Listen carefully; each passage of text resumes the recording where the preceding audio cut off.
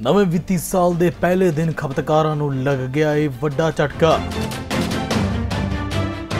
Gas cylinder ਹੋ ਗਿਆ 250 ਰੁਪਏ ਮਹਿੰਗਾ ਅਤੇ ਸੀਐਨਜੀ ਵੀ ਹੋ ਸਕਦੀ ਹੈ ਮਹਿੰਗੀ।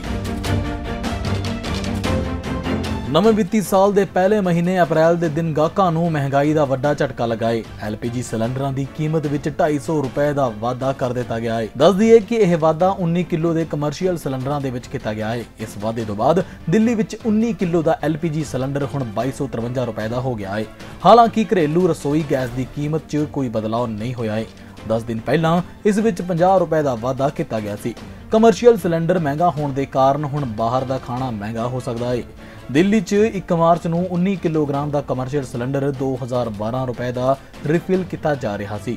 22 ਮਾਰਚ ਨੂੰ ਇਸ ਦੀ ਕੀਮਤ 2003 ਰੁਪਏ ਦੇ ਉੱਪਰ ਆ ਗਈ ਸੀ। ਪਰ ਅੱਜ ਫੇਰ ਇਸ ਵਿੱਚ ਵਾਧਾ ਕਰ ਦਿੱਤਾ ਗਿਆ ਹੈ। ਇਸ ਨੂੰ ਦਿੱਲੀ ਦੇ ਵਿੱਚ ਰਿਫਿਲ ਕਰਵਾਉਣ ਦੇ ਲਈ 2253 ਰੁਪਏ ਖਰਚ ਕਰਨੇ ਪੈਣਗੇ। ਉੱਤੇ ਹੀ ਮੁੰਬਈ ਦੇ ਵਿੱਚ 1955 ਰੁਪਏ ਦੀ ਬਜਾਏ 2205 ਰੁਪਏ ਦੇ ਵਿੱਚ ਇਸ ਨੂੰ ਰਿਫਿਲ ਕੀਤਾ ਜਾਵੇਗਾ।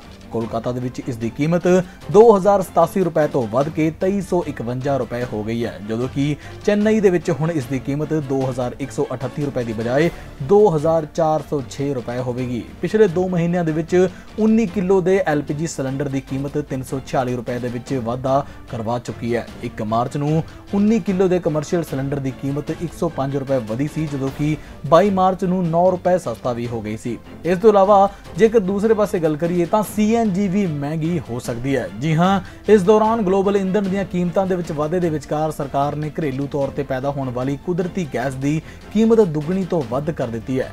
ਨਵੀਂ ਕੀਮਤ 1 ਅਪ੍ਰੈਲ ਤੋਂ 30 ਸਤੰਬਰ 2022 ਤੱਕ ਲਾਗੂ ਹੋ ਜਾਵੇਗੀ, ਜਿੱਥੇ ਕਿ ONGC ਅਤੇ ਆਇਲ ਇੰਡੀਆ ਦੇ ਰੈਗੂਲਰ ਫੀਲਡਾਂ ਤੋਂ ਪੈਦਾ ਹੋਣ ਵਾਲੀ ਗੈਸ ਦੀ ਕੀਮਤ ਮੌਜੂਦਾ 2.90 ਡਾਲਰ ਪ੍ਰਤੀ 10 ਲੱਖ ਬ੍ਰਿਟਿਸ਼ ਥਰਮਲ ਯੂਨਿਟ ਤੋਂ ਵਧਾ ਕੇ 6.10 ਡਾਲਰ ਪ੍ਰਤੀ 10 ਲੱਖ ਬ੍ਰਿਟਿਸ਼ ਥਰਮਲ ਯੂਨਿਟ ਕਰ ਦਿੱਤੀ ਗਈ ਹੈ। ਤਾਂ ਕਿਤੇ ਨਾ ਕਿਤੇ ਵੇਖਿਆ ਜਾ ਸਕਦਾ ਹੈ ਕਿ ਗਰੀਬ ਇਨਸਾਨ ਨੂੰ ਹੋਰ ਜ਼ਿਆਦਾ ਮਜਬੂਰੀਆਂ ਅਤੇ ਮੁਸ਼ਕਿਲਾਂ ਦਾ ਸਾਹਮਣਾ ਕਰਨਾ ਪੈ ਸਕਦਾ ਹੈ ਅਤੇ ਮਹਿੰਗਾਈ ਦੀ ਜੋ ਦਰ ਹੈ ਇਹ ਲਗਾਤਾਰ ਜਾਰੀ ਹੈ ਤਾਂ ਬਾਕੀ ਤੁਸੀਂ ਇਸ ਸਾਰੀ ਦੀ ਸਾਰੀ ਗੱਲਬਾਤ ਦੇ ਬਾਰੇ ਵਿੱਚ ਕੀ ਕਹਿਣਾ ਚਾਹੋਗੇ ਕਮੈਂਟ ਸੈਕਸ਼ਨ ਦੇ ਵਿੱਚ ਆ ਕੇ ਆਪਣੀ رائے ਸਾਂਝੀ ਕਰਨਾ ਬਿਲਕੁਲ ਵੀ ਨਾ ਭੁੱਲਣਾ ਬਿਊਰੋ ਰਿਪੋਰਟ ਚੜ੍ਹਦੀ ਕਲਾ ਟਾਈਮ ਟੀਵੀ